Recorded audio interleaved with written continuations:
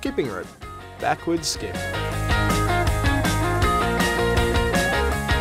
Get your legs up, big jump.